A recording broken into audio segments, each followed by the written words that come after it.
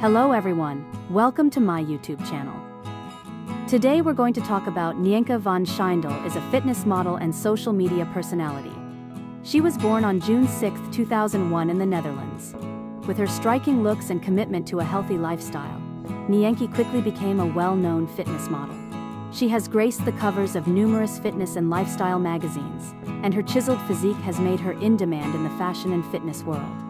Her mesmerizing photos and workouts have gained a huge audience on social media where she shares her fitness journey, inspiring thousands of people to live a healthy lifestyle.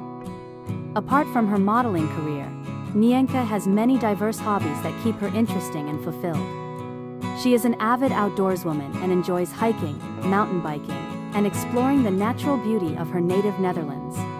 Her love for adventure and travel has taken her to some of the most stunning places in the world which she often shares with her subscribers in her travel blog and vlogs. For Nienke, it's not just about looks and adventure, but also about making a positive impact on the world. She actively participates in charity events, partnering with organizations that focus on education and child welfare.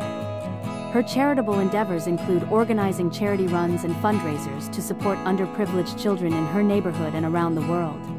In addition to her modeling career, hobbies and charity work, Nienke is an advocate for mental health. She openly shares her own experiences of worry and stress, using her platform to destigmatize mental health issues and support those who may be going through similar challenges.